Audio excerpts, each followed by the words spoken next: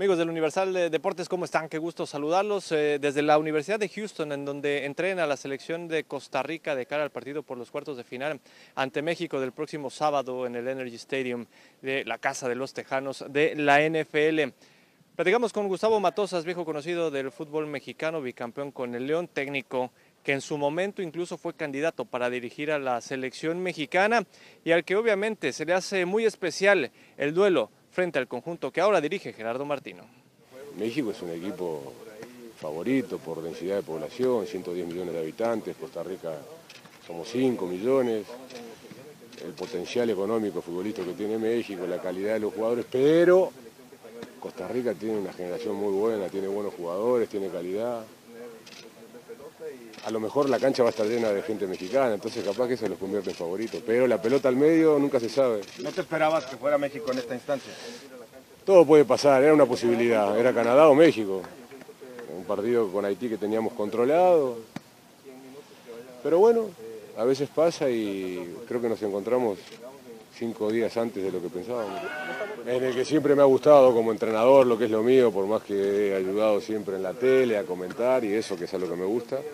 Lo mío es esto, en la cancha, ser entrenador y me llega en un momento muy bueno, ¿no? con, con un México que viene jugando muy bien, que tiene grandes jugadores, que parece un equipo imparable.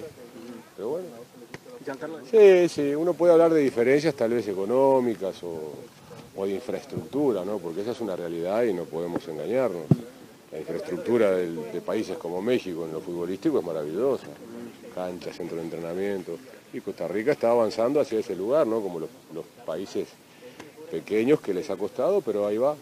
Pero sí, no, yo creo que todavía quedan algunas diferencias, sobre todo en lo que es infraestructura, ¿no? Después ya hemos visto que los equipos caribeños vienen muy bien también, los centroamericanos han mejorado muchísimo. Se ha, se ha equilibrado todo muchísimo.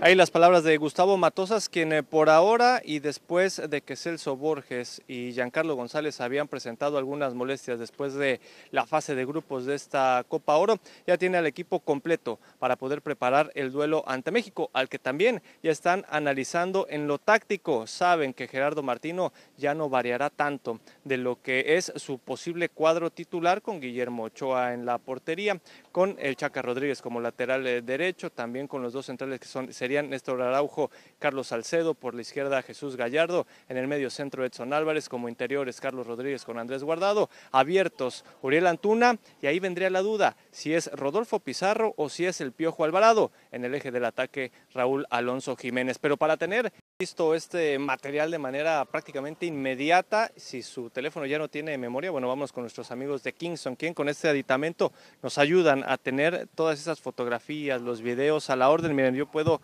rápidamente aquí tomar la foto, después sacar este, esta memoria, ir directamente a la computadora para descargar y después enviar la información y tenerla al momento. Seguiremos con toda la cobertura de la Copa Oro.